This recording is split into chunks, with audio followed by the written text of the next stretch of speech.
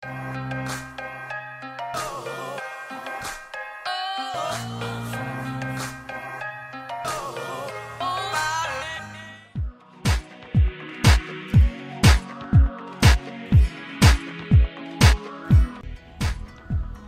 ดีค่ะทุกคนมาพบกับเพนจากเพจ Rookie P หรือ YouTube Rookie P Channel นะคะ วันนี้นะคะเพนก็จะพามา อัปเดตนะคะ สายป่านดวงใจที่มีในบ้านนะคะ เดี๋ยวจะให้ดูเป็นโซน ๆ ไปเลยเนาะโซนนี้นะคะจะอยู่ที่แดด 50%นะคะ ข้างบนจะเป็นสแลน 50%นะคะ เพนทดลองเอามาเลี้ยงดูนะคะ ทั้งหมดหนึ่งสองสามสี่ห้าหกหกกระถางนี้นะคะ เป็นหกกระถางที่เพนชอบที่สุด ไม่ได้เก็บเป็นพ่อแม่พันธุ์นะคะ เก็บไว้สะสมนะ เพราะว่าเขาก็แบบมีสายแบบยาวอะไรเงี้ยนะ อันนี้เป็นอันที่สะสมจะไม่ตัดนะ ถ้าไม่มีปัญหาอะไรนะ มาดูกัน โดยส่วนตัวนะ รู้สึกไม่ค่อยชอบเท่าไหร่นะคะ กับแสงห้าสิบเปอร์เซ็นเพราะว่าดูดีปลายเขาจะแบบสีสีชัด เห็นไหม สีเข้มมากนะคะ แล้วก็มันจะทำให้ใบอะยิ่งหดเล็กนะ แต่ข้อดีของการได้รับแดดเยอะก็คือลายใบเขาจะชัดนะคะ แบบนี้ อันนี้เพนก็ชอบ เพราะว่าใบเขาใหญ่ เขาเหมือนเป็นพันธุ์ที่แบบใบใหญ่ หรือว่าเขาโตสมบูรณ์ดีแล้วแล้วแบบใบใหญ่นะ เนี่ยอย่างเงี้ย เพนเลยเก็บสะสมไว้นะคะ เพราะว่าเพนจะบอกเลยว่าสายป่านเนี่ยคือนำเข้ามาจากหลายประเทศนะ ทั้งฮอลแลนด์ทั้งมาเลทั้งจีนเลยนะคะ เวลามามันคือสายป่านดวงใจด่างนี่แหละ แต่ว่าลักษณะใบมันก็ไม่ค่อยเหมือนกันนะ เพราะอาจารย์เพนก็เลยเลือกที่จะสะสมไว้นะคะ นี่อันนี้ก็คือใบใหญ่ๆนี่ชอบมากนะทุกคน เนี่ยที่แบบปลายมันเป็นด่างที่เพ้นถ่ายภาพนิ่งให้ดูไปนะ ตอนแรกก็ออกมาเป็นด่างดีเนี่ยพอโดนแดดเยอะมันก็เริ่มอมชมพูด้วยนะ ก็แล้วแต่ทุกคนชอบนะว่าชอบแบบไหน แต่ของทางยุโรปเพนเห็นเขาจะเลี้ยงแบบลักษณะเนี้ยคือลายใบชัดนะคะ เราก็ชอบนะ แต่เรา มันก็แลกมากับแบบหลายอย่างที่เราไม่ชอบก็คือ ใบมันจะเล็กลง มันจะหดแบบนิดนึงอะไรเงี้ย นี่นะสวยๆ ใบใหญ่ ชอบมากเลยค่ะทุกคน นี่ สายป่านน้องสายป่านของแม่ คือ เก็บสะสมไว้นะ นี่ก็น่ารักน่ารักนะคะอันนี้น้องก็เริ่มยาวแล้วแหละ เดี๋ยววันหลังต้องมาฉีดสารบำรุงให้เขาบ้างนะ ฉีด อาหารให้เขาบ้างเนาะเพราะว่า พอปลายสายเนี่ย บางทีกว่าอาหารมันจะวิ่งมาจากข้างบนลงมาก็อาจจะแบบช้าไป อันนี้ก็ไม่แน่ใจว่าน้องไม่ไม่แดดหรือบอบช้ำอะไร เดี๋ยวต้องเก็บเขาไปไว้ที่ร่มหน่อยดีกว่า เนี่ยมีอาการเหมือนร้อนๆอบๆนะเนี่ยอย่างเงี้ยอย่างเงี้ยเห็นปะเนี่ยเอาออกก่อนเออ เดี๋ยวย้ายน้องคนนี้ไปเยียวยาที่แดด 80%เดี๋ยวจะพาไปดูตรงที่แดด 80%อันนี้พามาดูลูกรักก่อนนะ เปิดที่ลูกรักกันเลยนี่ดังๆ แล้วก็เก็บสะสมไว้นะทุกคน เนี่ย เห็นไหมทรงใบนางน่ารัก นี่ก็ด่างยาวมาเลยนะ อยากอยากจะรู้ว่า ตอนแรกคิดว่าเฮ้ยตัดเฉพาะด่างอะแล้วไปปลูกในกระถางกระถางหนึ่งเลยไหม เพราะว่ามันมีด่างหลายอันนะเนี่ยหนึ่งใช่ไหมนี่ด่างล้วน ด่างล้วน หรือบางคนเรียกเผือกเผือกเลยนะ หัวใจเผือกเนี่ย เนี่ยเห็นปะสองนี่สามสี่ก็คือว่า เอ้ย เราจะเอาไปรวมในกระถางเดียวกันเลยไหม แต่มีความรู้สึกว่า อยากกลัวตัดไปแล้วมันชะงงักการเจริญเติบโตนะทุกคนเพนก็เลยคิดว่างั้นเอาไว้แบบนี้แหละ เอาไว้แบบนี้แหละ เดี๋ยว อยากจะรู้ว่ามันจะยาวไปได้สักแค่ไหนนะเนี่ย แต่นางก็งอกด่างของนางมาเรื่อยๆนะเพนก็เลยแบบเออไม่ตัดดีกว่า นี่เห็นปะนางแตกยอดด้วย เพราะอันนี้เราพ่นปุ๋ยทางใบให้ครั้งสุดท้ายก็คือนั่นแล้วก่อนที่จะย้ายมาอยู่ตรงนี้นะป้าเดี๋ยวเพนจะพาไปดูที่เพาะไว้นะคะ ก็คือข้างๆกันนี้เอง เดี๋ยวขอปีนเก้าอี้แป๊บหนึ่ง นี่ก็เป็นสายป่านที่เพน เพาะชำไว้นะคะ ก็มีกระถางหลายไซส์เนาะเพราะว่าอย่างบางคนก็ถ้าแบบไซส์เล็กอย่างเงี้ยสำหรับบางคนแบบงบน้อยนะ ก็จะได้แบบไซส์เล็ก มีไซส์กลางไซส์ใหญ่ ส่วนใหญ่ไซส์ใหญ่นี้จะเป็นแบบร้านต้นไม้เขาขอให้ทำไซส์ใหญ่เนาะเพราะว่าเวลาเขาไปขายอะ่ะ มันได้แบบใหญ่ ๆ มันมันดูแบบเต็มเต็มกว่านะนี่อย่างเงี้ย เราก็ เอาขดขดวนๆไปในนี้ก่อนนะ เพราะว่าเดี๋ยวพอลากมันลงไปอะ่ะ มันก็จะแตกยอดใหม่ขึ้นมาได้อีกนี่อะยกตัวอย่างกระถางนี้เนี่ยอย่างเงี้ย พอเขาวนๆใช่ไหมเนี่ยเขาก็มียอดใหม่แบบแตกออกมาจากจากตัวข้อของเขานะ มันก็จะทำให้น้องอะดูเต็มขึ้นนะคะ แต่อันเนี้ยมันอยู่ใต้สแลนห้าสิบเปอร์เซ็นเนาะ ซึ่ง ฝั่งนู้นจะเป็นสแลนแปดสิบตอนเราเพาะชาใหม่ๆเราก็จะไปไว้ที่แปดสิบก่อนจนน้องแข็งแรงก่อนนะ เราถึงจะเอาออกมาตรงนี้นะ ส่วนอันนี้ก็จะเป็นแบบยอดเล็กยอดน้อยที่เรา เอ่อ ได้จากการที่เราตัดชำแบบเป็นใบๆนะ อันนี้เราเอาเส้นมาขดใช่ไหมเป็นใบๆเนี่ย เราเอาใบไปตัดชำเป็นใบๆมันจะเหลือยอดอยู่ยอดเราก็เอามาใส่ตรงนี้นะ อันนี้เราก็จะพยายามแบบ พอน้องแข็งแรงแล้วเราจะพยายามเอามาออกแดดบ้างนะ จะสลับกันมันจะมี คือเพนก็จะทดลองอยู่แบบหลายสูตรว่าเอาไว้แดดประมาณนี้ เอาไว้แดดห้าสิบเปอร์เซ็นเพื่ออะไร เพื่อให้เขาได้เจริญเติบโตสังเคราะห์แสงดีใช่ไหม เอาไว้ไปหลบที่ร่มบ้างเพื่อให้เขาแบบด่างดีขึ้นอะไรเงี้ยใบใหญ่หน่อยอะไรเงี้ยนะคะ มันก็จะมีเทคนิคของเขาอยู่นะ ส่วนไซส์กลาง ไซส์กลาง เห็นไซส์เล็กอย่าเพิ่งอย่าเพิ่งถามนะยังไม่ได้ปล่อยขายนะ ส่วนไซส์กลางเนี่ยนะคะ ก็จะประมาณนี้เนาะก็สำหรับแบบมันแล้วแต่งบคนด้วยแล้วแต่กระแสช่วงนั้นแบบเอ้ยชอบแบบไหนยังไงนะ เพราะว่าอย่างตอนนี้พูดตรงๆเลยว่า ถ้าจะให้ได้แบบเป็นสายยาวอะ่ะ ไม่มีนะ เพนติดต่อฟาร์มทุกฟาร์มที่เพนมี contact นะ ไม่มีนะคะ มันยาวไม่ทัน เพราะว่าอย่างบางทีประเทศไทยฮิตใช่ไหมอะมาเลยก็สั่งไปอะไรไป มันก็จะแบบว่า มันก็จะแบบหมดอะเพราะฉะนั้นเราก็ต้องแย่งชิงมาตั้งแต่ที่แบบ มันยังไม่ยาวเนี่ยแหละนะ ซึ่งล่าสุดเพนก็มีเปิดจองไปนะ เป็นรุ่นสายไม่ยาวนะ ถ้าใครสนใจก็ทักมา มันจะเป็นอันนำเข้านะ ยังไม่ใช่อันพวกนี้ พวกนี้ขอให้เขาโตอีกหน่อยนะคะ ถ้าใครสนใจเสียป่นดวงใจก็สามารถทักแชทมาทางเพจลูกี้พีได้นะจ๊ะ นี่อันนี้ก็จะเป็นเริ่มโตละให้ดู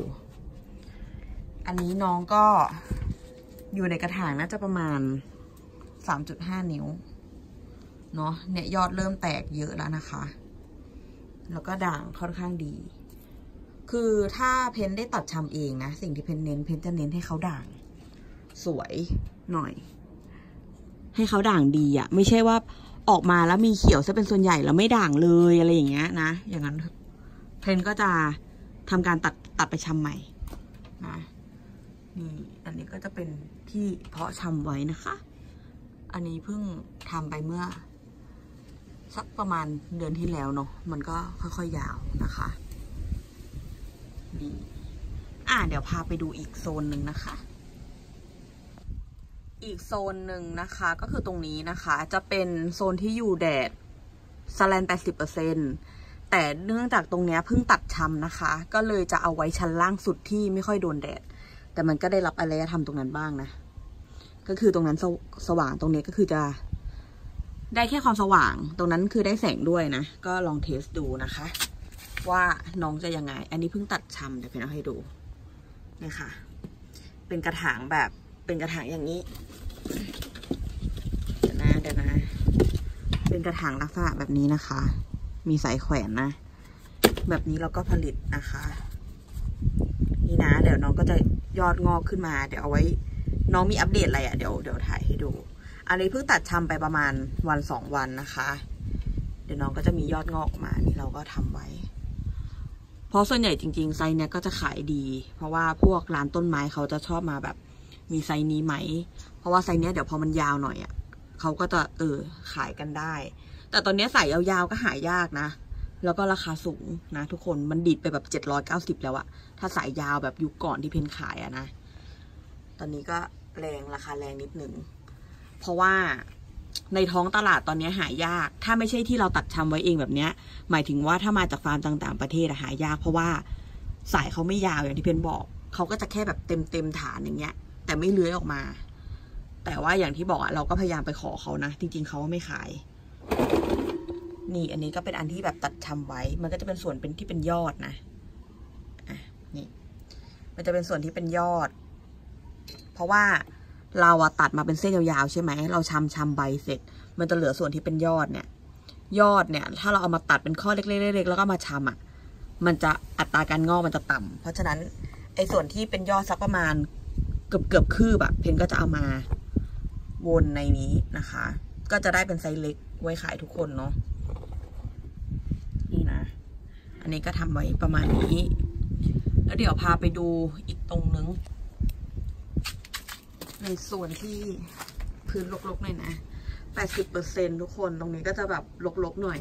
เพราะว่าเป็นตรงเดียวที่มี80%นะ เดี๋ยวจะให้ดูสองกระถางเนี้ยตั้งใจจะเอาเป็นพ่อแม่พันธุ์ที่จะแบบตัดตัดชามตัดตัดชามนะ แต่ตอนนี้น้องโดนเพลียบุกนี่นี่นี่นี่น้องโดนเพลียบุกเห็นไหมเราเนี่ยเนี่ยเดี๋ยวจะ คืนนี้จะทำการรุกคาดนะ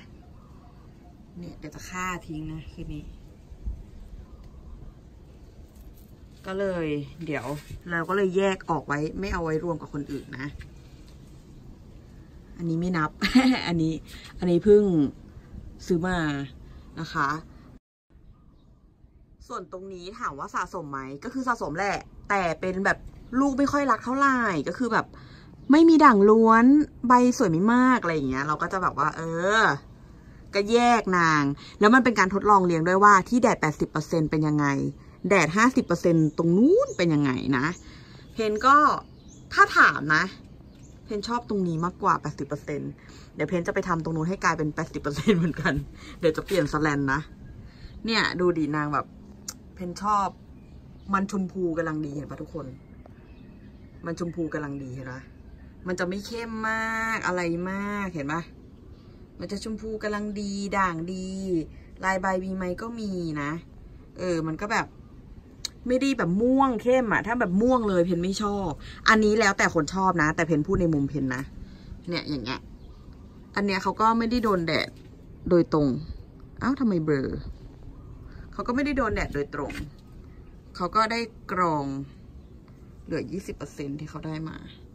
อันนี้ก็ถือว่าแชร์ให้คนอื่นดูด้วยว่า คุณชอบลักษณะใบแบบไหน คุณก็กางสแลนแบบนั้น หรือว่าจำลองจำลองพื้นที่ให้ให้เป็นแบบนั้นนะ อ่านี่อย่างกระถางเนี้ย เห็นไหมเพนชอบประมาณนี้มากกว่านะคะ ให้เขามีความด่างแล้วก็มีความชมพูนิดๆเพนรู้สึกว่ามันจะน่ารักกว่าที่ที่แบบเนี่ยที่กว่าแบบชมพูม่วงปัดเหมือนฝั่งนู้นนะม่วงปัดอะไรคือม่วงปัดอะ อันนี้อันนี้ก็น่ารัก เดี๋ยวขอลบก่อนลูก เดี๋ยวอันนี้เดี๋ยวจะทำแบบรีวิวน้องตัวคนเดียว จริง ๆอะทำรีวิวน้องแต่คัลเลอร์ไว้ แต่บาปบุญไสยศาสตร์มีจริงเซฟไม่ติดจ้ะอ่าไม่นอกเรื่องไม่นอกเรื่อง อ่านี่ก็อีกอันนึงเห็นไหมน้องก็แบบมีความน่ารัก มีความแบบกลายพันธุ์เด้อนี่นี่นี่ข้างบนก็ด่างดีๆ เห็นปะด่างดีๆ แต่มันเริ่มมีความเขียวมาให้ดู สุดท้ายเขียวจ้า เขียวจ้า ดูสักก่อน นางก็แปรพักนะ เนี่ยเพนก็จะรู้สึกจะชอบฝั่งแดดแปดสิบมากกว่านะคะ แต่ถ้าใครแบบแฮปปี้กับแบบม่วงปัดก็แล้วแต่เราไม่ว่ากัน เพราะว่าบางคนก็แบบพอเลี้ยงได้ชมพูม่วงก็จะแฮปปี้ว่าเฮ้ยฉันเลี้ยงให้ชมพูได้อะไรอย่างเงี้ยนะนี่ใบเบยเขาก็จะดูแบบไม่เล็กมากเหมือนฝั่งนู้นเนาะพอได้แดดจัดใบก็จะเล็กหดเล็กลงด้วย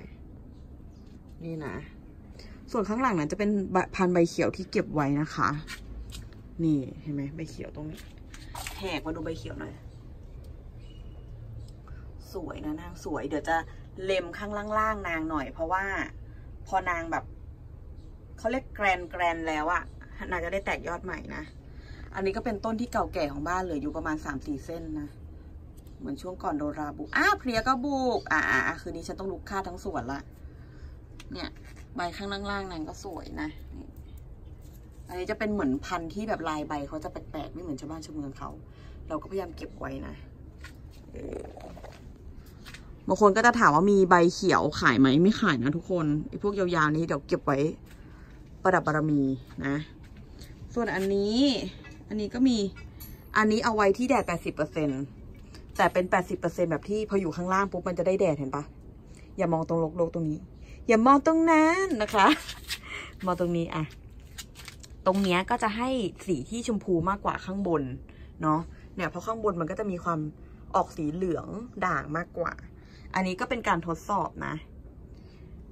นี่ก็คือใช้ใช้ชั้นเหล็ก เพนใช้ชั้นเหล็ก มามาซ้ายขวาอย่างนี้ใช่ไหมแล้วก็เพนก็ไปเอาราวม่านนะ จาก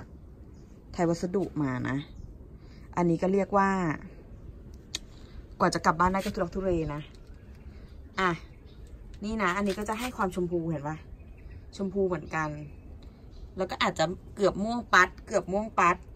แต่ตรงนี้มันจะได้แดดแค่ครึ่งวัน เพราะฉะนั้นเขาก็จะหนักหน่วงแค่ตอนเช้านะทุกคน ก็อ่านี่น้องคนนี้เป็นน้องที่โดนตัดกูดนะคะ อะอะเอามาคุยหน่อย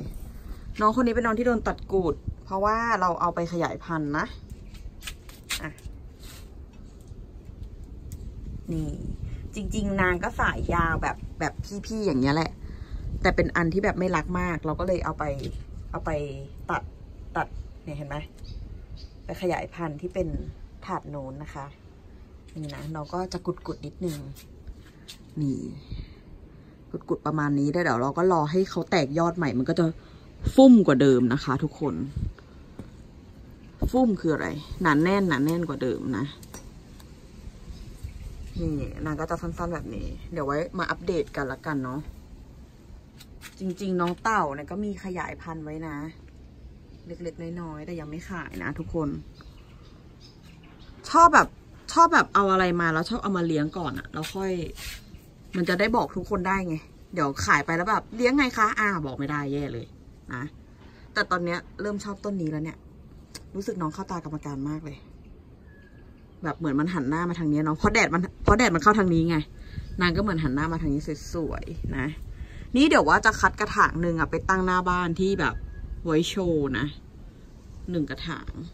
น้ำใจไทย ดูดีสวยมาก เพรู้สึกว่าฟอร์มเนี้ยใบฟอร์มเนี้ย สีประมาณเนี้ย ลายประมาณเนี้ย เป็นสีที่เพนชอบที่สุดณตอนนี้นะเออน่ารักมากแม่ โอเคนะบอกว่าทุกคนจะ แฮปปี้ดื่มด่ำกับสายป่านดวงใจของอีชันนะคะ มีตรงไหนอีกไหมเนี่ย มีตรงไหนซ่อนอีกไหมเนี่ย ก็น่าจะไม่มีแล้วนะ เพราะช่วงก่อนเปิดขายไปเยอะนะคะ ก็เกือบหมดนะ แล้วก็บางทีก็เพื่อนๆมาบ้านก็มาหิ้วกระถางนี้ไปอีกนะ นางมาหิ้วจากเราไป เราก็ขัดขืนไม่ได้ใช่ปะแต่พอเวลาเราไปบ้านเพื่อนเราก็หิ้วคืนมานะ สู้กันสู้กันนะคะ เพื่อนชอบขโมยต้นไม้นะ เนี่ยหวังว่าทุกคนจะดื่มด่ำไปกับสายป่านดวงใจของเพนนะคะ แล้วก็มีกำลังใจในการปลูกแล้วก็เลี้ยงน้องต่อไปนะคะ ทุกคน บ๊ายบายบ๊ายบาย ติดตามเพจและ Instagram ได้ที่ l u k i p 5 6และอย่าลืม Subscribe l u k i p Channel กันด้วยนะคะ เออสั่นกระดิ่งด้วยนะ อย่าลืม